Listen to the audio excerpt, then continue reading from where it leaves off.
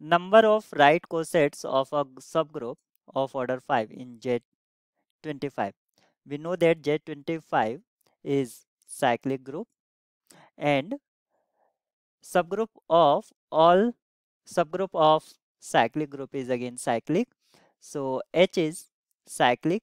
and its order is 5 cyclic and its order is 5 so we can find number of right cosets and number of left coset that will be equal because of cyclic subgroups have same